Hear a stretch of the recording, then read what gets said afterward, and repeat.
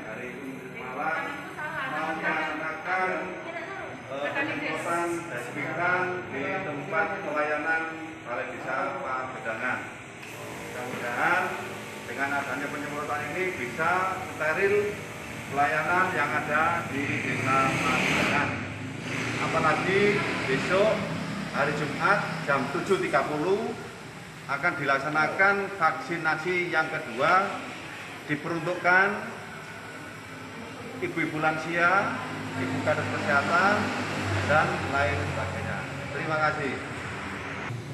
Tak seelok langit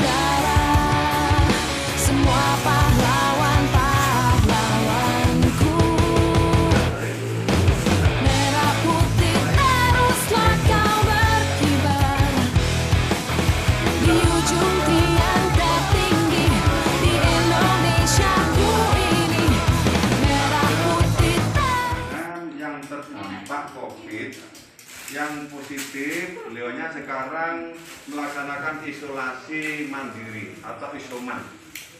Mudah-mudahan bantuan sembako, obat-obatan, vitamin ini bisa warga Pagedangan bebas dari COVID-19.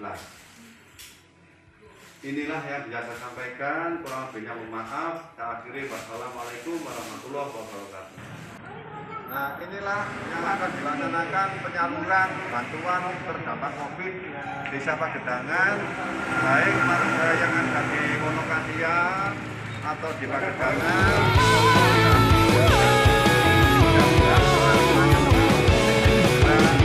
Diberikan